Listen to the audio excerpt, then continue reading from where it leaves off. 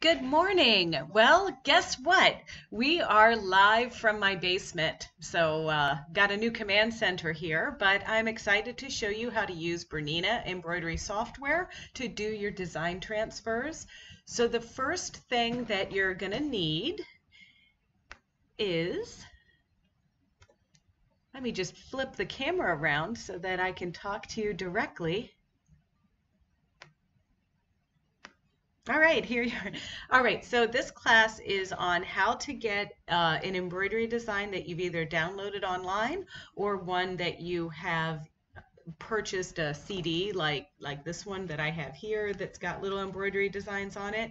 How to get the design from that to your embroidery machine so that you can stitch it out. There's a lot of ways that you can get a design. You can get designs on USB sticks, you can get them on CDs.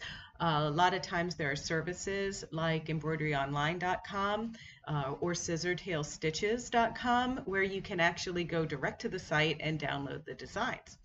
And in that case, of course, you want to make sure that you save the designs on your computer in a folder labeled clearly what those designs are so that when you go to retrieve them, you can easily find them. Just, you know, kind of like you should organize your patterns at home with your sewing stuff because you are all very organized, aren't you? I have patterns all over the house. I'm one to talk. All right, I'm going to flip over now to the uh, screen that has the Bernina ArtLink software loaded. So the Bernina ArtLink software is a free download from Bernina.com. This software is um, going to allow you to do a few things to the designs, not a whole lot, but it'll allow you to mirror the design, make it larger, smaller, rotate it, um, but that's about it. But the main purpose of the software is actually to be able to get designs off of your computer and onto your embroidery system. So let me just give you a tour. So First of all, you want to be able to open a design. Now, I'm working in a folder that has my floral flamingos. The floral flamingos are a pack of designs that are available from scissortailstitches.com. They're also available at berninaofnaperville.com and in the store when we are able to open for business again. So the um, ArtLink software, just like any other Windows-based software, we have our File, Edit, View, the design, things like that. And just to open a design, I could either go to File or I can hit this little Open button or Open icon. And now you can see here that I organize all of my embroidery designs very nicely, and there's Floral Flamingo. When you click on a design that's labeled .art, you can preview it right over there in the screen. You can also see that um, there are other designs in this collection but this is the one that we are working with today. Now I've already got it open, so I'm just going to hit cancel. And now if I wanted to do something to this, there's a couple ways that I can enlarge and reduce. Did you notice how when I clicked on it, I got these little black handlebars? Well, these will allow me to just left click and drag and make it smaller and then I can also use the ones either at the top or at the sides to skew it. So let's say I don't want the flamingo in a perfect circle and I want it in a more of an oval shape, I can do that. Now, one of my favorite features of any software is the undo button because I don't really want to make those changes that I just made to our flamingo. So I went to undo until it wouldn't let me undo anymore. So that's what that is. Now, there might be a situation where I want to embroider this design twice. Maybe uh, one it's going to go on one pillow and then a design on another pillow. So I can actually save this one as my floral flamingo left facing, or actually, I guess this one's facing to the right, right facing, and then take this, mirror it, and then save it as floral flamingo left facing. So that's what mirror does. And then mirror will also flip it upside down if you had a design that you needed to, to flip in some way like that. Now, if I click on my design again, I get white handles. And these white handles will allow me to rotate it. let's say I want to just spin my flamingo and get it just in the right position. Maybe I want it to be looking up. It's catching some rays on the beach or something like that. So the um, white handles allow me to do that. There's also uh, handles at the top and a hand little smaller handles here to the sides. This is actually going to tilt the design. And I suppose, you know, maybe for this application it doesn't work as well, but that works really well for anything that you want to kind of give a reflection of. Um, that works nicely. So I'm just going to undo that. If you wanted to be very specific, if you are trying to be more specific about your angle and you just want to rotate in 45 degree increments, you have these tools here. These tools allow you to click to rotate it anti-clockwise and you can click on it to rotate it clockwise and that would be rotating it in 45 degree angles. Just like I showed you that we can do that with these white nodes when we click on when we have our black handles we can click on it again and get the white handles all of the things that we can do here by infinitely adjusting those angles and the slant you can also do in those boxes there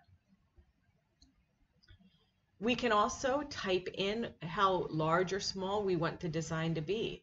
If you look down here with the design selected, if you look down at the very bottom of the window, you're going to see that this design is 4.59 wide by 4.74 high.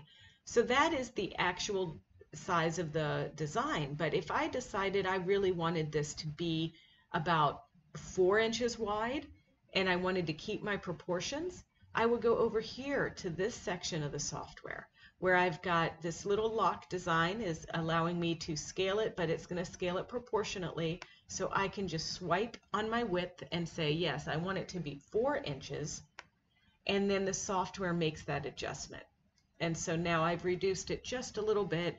And that way, if you're putting this in the middle of a quilt block or you're trying to put it on a shirt or something like that, then you're able to actually size it just for the spot that you want to put the embroidery design on.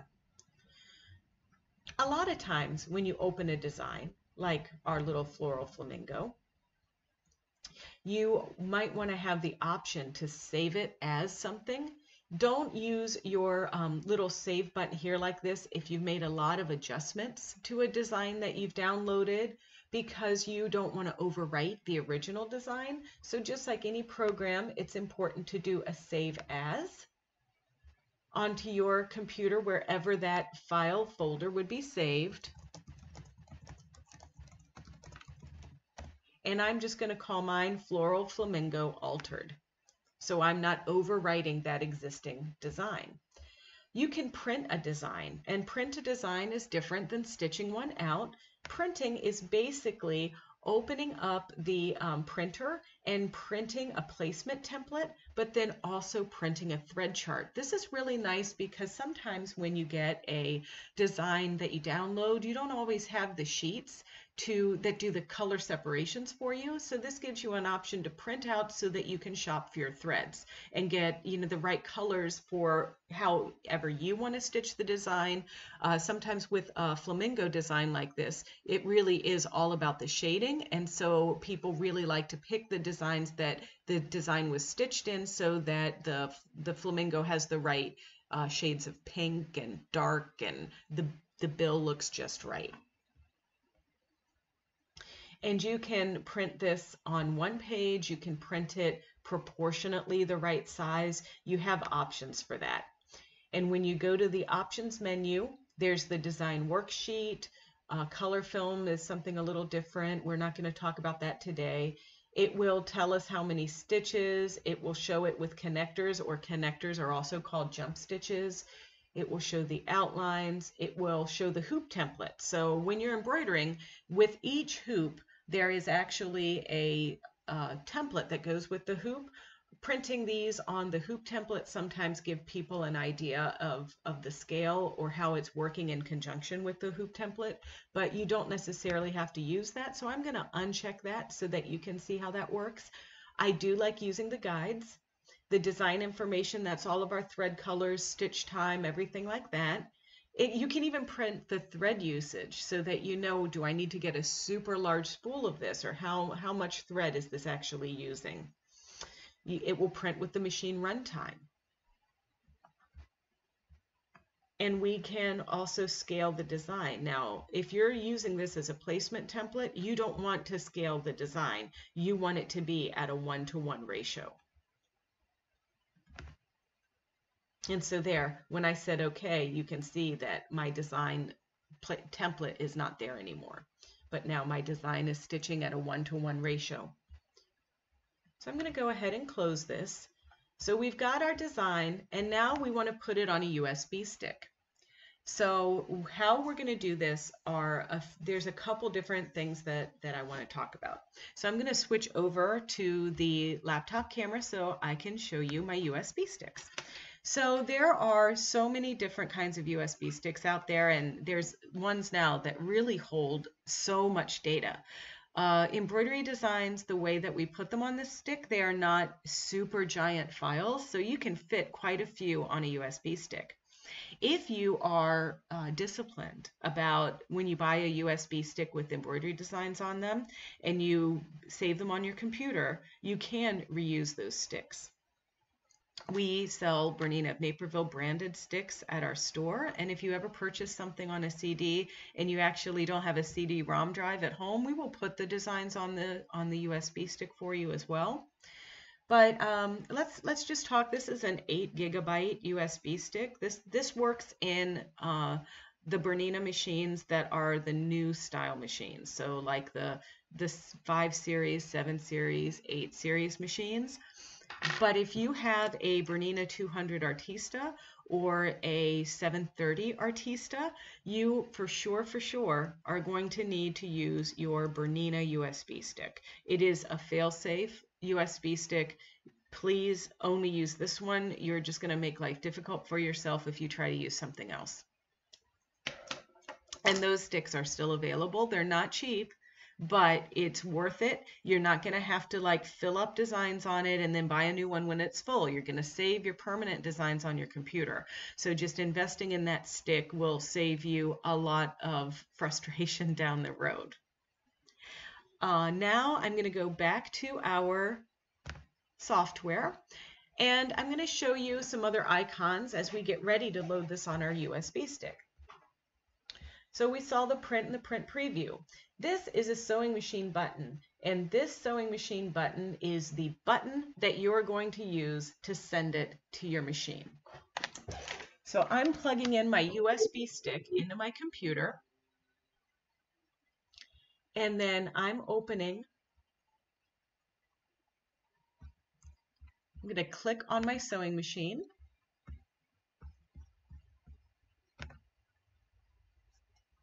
And now I have my device selection menu that's come up.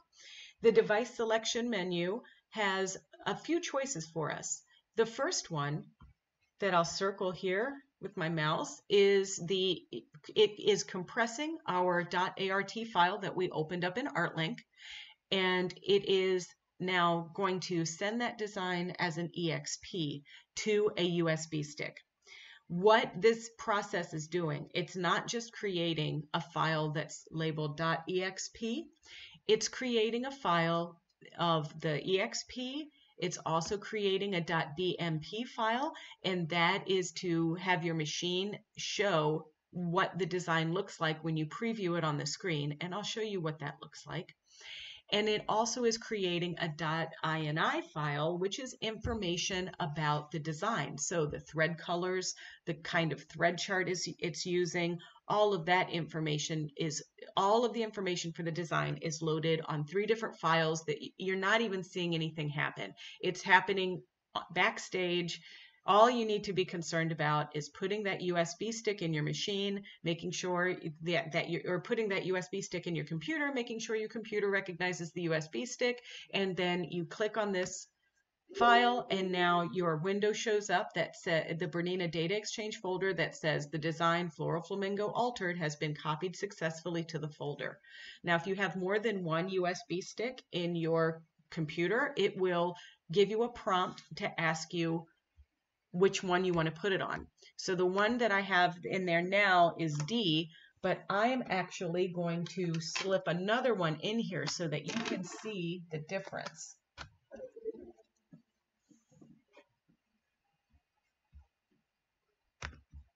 And I'm just going to say okay to that.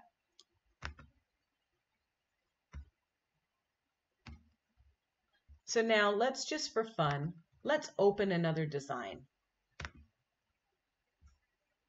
I'm going to open another flamingo.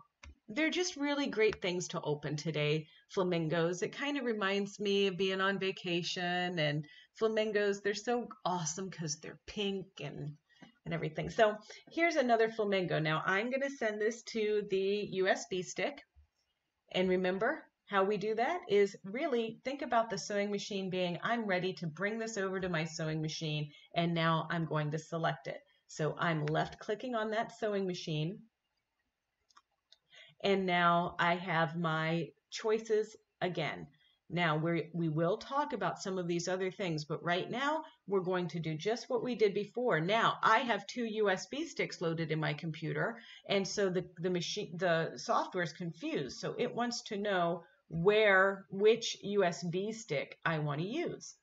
So I will then um, go to my little folder with the arrow popping out of it. And now this will allow me to choose my stick that's either D, that was the first one I put in, or F or E, which is the new one that I put on. So this is um, something that might help you if you ever have more than one data storage USB stick on your computer.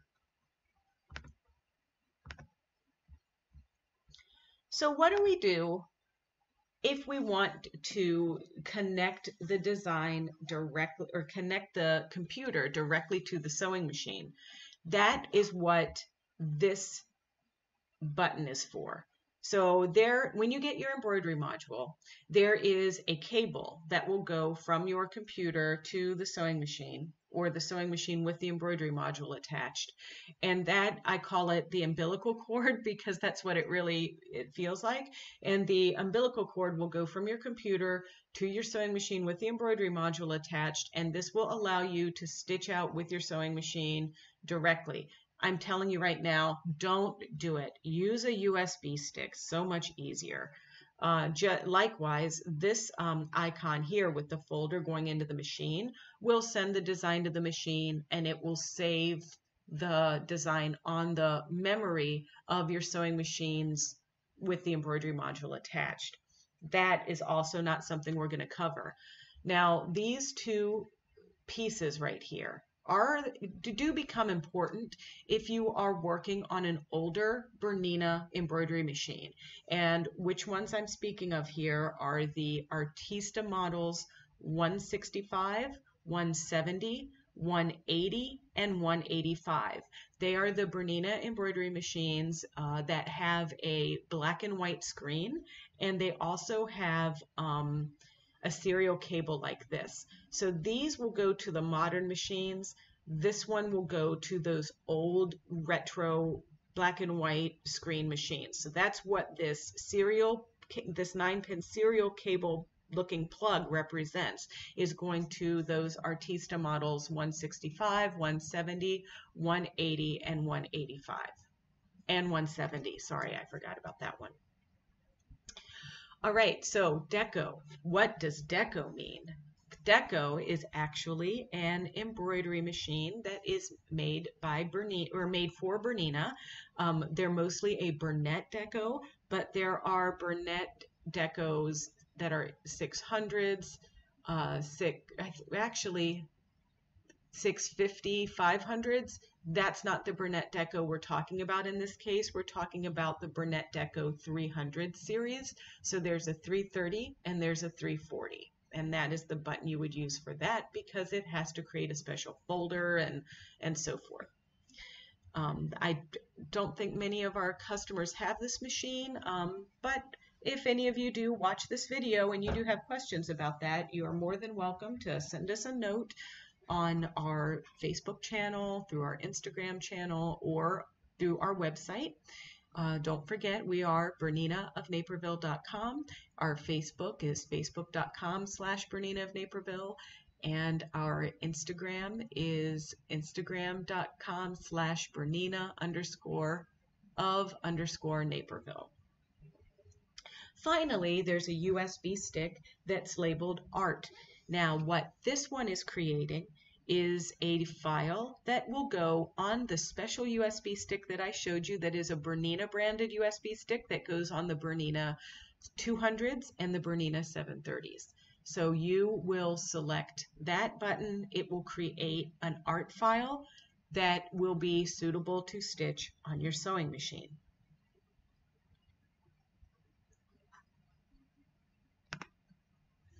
Now, once I'm actually in, I've got my designs on my USB stick, I'm going to need to actually send these designs to the, or carry my USB stick to my sewing machine, put it in the USB um, input on the on the sewing machine, and then look for it on the sewing machine. Uh, it's pretty easy. So if you have a 5 or a 7 series machine, there's only one USB port. If you have a Bernina 880 or a Bernina 830, then you have two ports. So you can put two sticks in at once, which also means that when you select the USB, it's possible that you'll see two USB sticks showing up on the screen of that machine. I'm working in a uh, simulator to show you how this would work. So unfortunately, you're not going to really see my flamingo in there, but we're going to pretend that there's a flamingo in there. Okay? Use your imagination.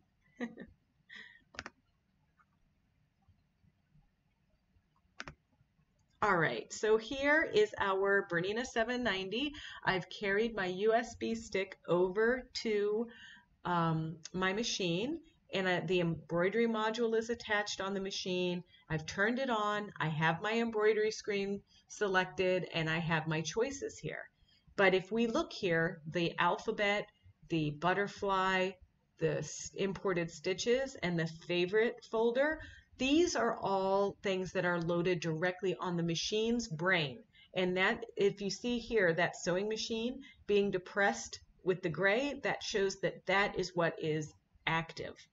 Uh, all I need to do is go over, see this little picture? That's a picture of a USB stick. So I'm just going to click on that. And now, everybody use your imagination.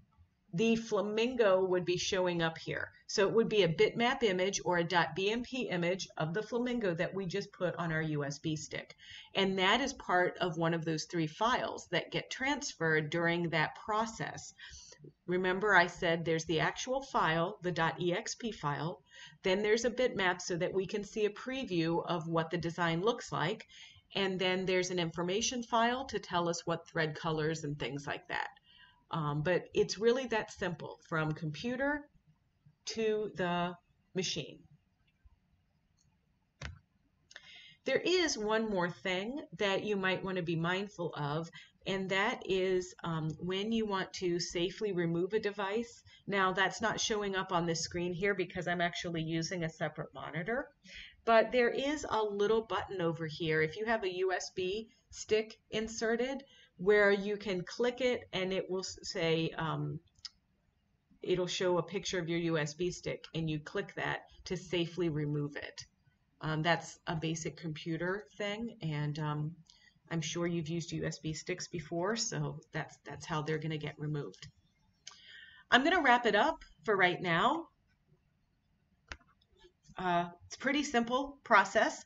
Uh, any questions? Don't forget to send us direct message, uh, post on our Facebook page, uh, and also you can uh, follow us on YouTube. We will be uh, doing some editing to this video and then posting it to our YouTube channel, which you can find us on YouTube. We're Bernina of Naperville. And then you can like, comment, and subscribe. And if you want to know when we post new videos, just click that little bell and you will get alerts when we add a new video. But for now, I'm going to sign off. We're going to work on uh, a badge making class and stitching that out. And uh, we had done that one already on our Twitch feed, but I wasn't really happy with some technical difficulties we were having. So we're going to do it again. And then we're also going to do the uh, intro to uh, embroidery, just like a quick down and dirty way to get you plugging your module into your machine, stitching something out so that you have something to do while you're stuck in the house. And, uh, and hope that, you know, it helps you out somehow. So, uh, yeah, we'll be back in touch. And thank you so much. And uh, see you later. All right. Bye bye.